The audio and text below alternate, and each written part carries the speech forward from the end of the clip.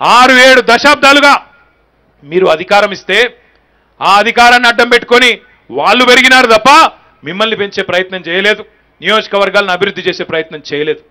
చేయకపోగా సూటిపోటి మాటలు ఇష్టానురీతగా ఆనాడు తెలంగాణ ఉద్యమంలో మనం ముందుకు పోతుంటే మనని కూడా ఆనాడు అడ్డుకునే ప్రయత్నం చేసినారు.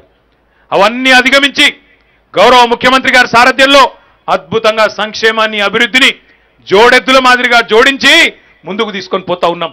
ఒక్కసారి ఆలోచించండి. గతంలో ఇక్కడ పనిచేసిన వాళ్ళు ఉన్నప్పుడు ఇక్కడ నుంచి మీరు ఎమ్మెల్యేలుగా ఏడు ఎనిమిది తొమ్మిది సార్లు గెలిపించిన వాళ్ళు ఇక్కడ పనిచేసినప్పుడు ఆనాడు ఎట్లుండే సంక్షేమం ఈరోజు ఎట్లా ఉన్నది? ఆనాడు ఒక ముసలి అవ్వ దగ్గరికి లేదా ఒక ముసలి తాత దగ్గరికి వాళ్ళ ఇంట్లో ఉండే మన్మడో మన్మరాలో పోయి నాయనమ్మా నాకు పది రూపాయలు ఇయ్యే బిస్కెట్ కొనుక్కుంటా అంటే నాకే మందులకు సరిపోతలేవు.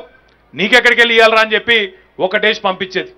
ఇవాళ ఆ పరిస్థితి నుంచి కేసీఆర్ గారు వచ్చిన తర్వాత అదే ముసలి అవ్వ అదే తాత వాళ్ళ గౌరవం పెరిగిందా లేదా ఒక్కసారి ఆలోచన చేయండి. ఆ అత్త దగ్గరికి ఆ ముసలి అత్త దగ్గరికి కోడలు వచ్చి అడుగుతున్నది అత్తమ్మా చాయ్ తాగుతావా కాఫీ తాగుతావా? అత్తమ్మా టిఫిన్కి ఏం తింటావు? అని చెప్పి చాలా మర్యాదగా చూసుకుంటున్నది. నేను చెప్తలేను నాకు రాంగ రాంగ భగత్ చెప్పిండు ఒక అత్త చెప్పిందని చెప్పిండు. కోడలు తిట్టుకోవద్దు కోడలు తిట్టుకోవద్దు ఎందుకంటే కోడలు మీరు కూడా ఎప్పటికైనా అత్తలు అవుతారు కాబట్టి కోడలు తిట్టుకోవద్దు మీరు. మంచిగా చూసుకోండి అత్తల్ని. అట్లాంటి పెద్ద మనుషుల గౌరవాన్ని ఆత్మగౌరవాన్ని పెంచింది కేసీఆర్. రెండు వందలున్న పెన్షను ఇవాళ రెండు వేల రూపాయలైంది. పది రెట్లు పెరిగింది. ఎట్లా పెరిగింది? మనసున్న నాయకుడు ముఖ్యమంత్రి ఉంటే పేదాల కష్టం తెలిసిన నాయకుడు ముఖ్యమంత్రి ఉంటే పెన్షన్ పెరిగింది. మీకు ఆసరాగా అండగా నిలబడ్డది.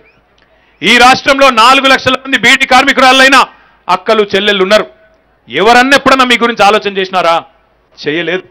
మీరు అడగలేదు దండం పెట్టలేదు దరఖాస్తు చేయలేదు ఎర్ర జెండా వాళ్ళు వచ్చి ధర్నాలు చేయలేదు.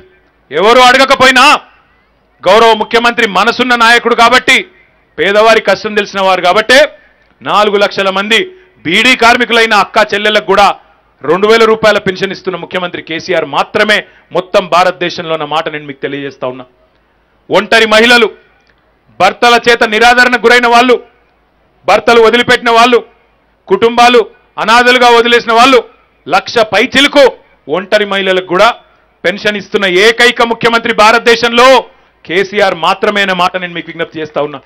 అది మాత్రమే కాదు ఈరోజు ఒక పేదింటి ఆడబిడ్డ పెళ్ళి చేసుకుంటే కులంతోన సంబంధం లేదు మతంతో సంబంధం లేదు కేవలం తెల్ల కార్డు ఉంటే చాలు మేనమామ కట్నం పెడతాడో లేదో తెలియదు కానీ మేనమామలాగా కేసీఆర్ గారు మాత్రం లక్షా నూట పదహారు రూపాయలు ఇచ్చి కళ్యాణ లక్ష్మి షాదీ ముబారక్ పేరిట ఆడబిడ్డల పెళ్ళిళ్ళకు ఇప్పటికే పదకొండు లక్షల మందికి సాయం చేసిన ముఖ్యమంత్రి మీకు అండగా నిలబడ్డ ముఖ్యమంత్రి కేసీఆర్ మాత్రమే భారతదేశంలో.